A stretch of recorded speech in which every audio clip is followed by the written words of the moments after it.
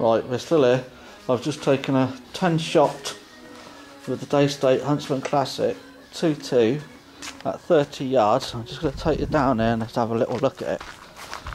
And uh, let's have a look at the group.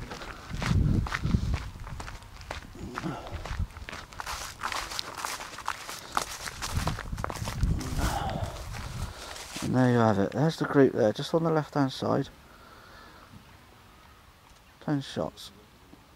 Now, that is not bad. That's not much smaller than a five pence piece.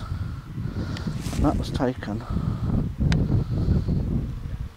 Let's just see if I can get over the fence too. Alright.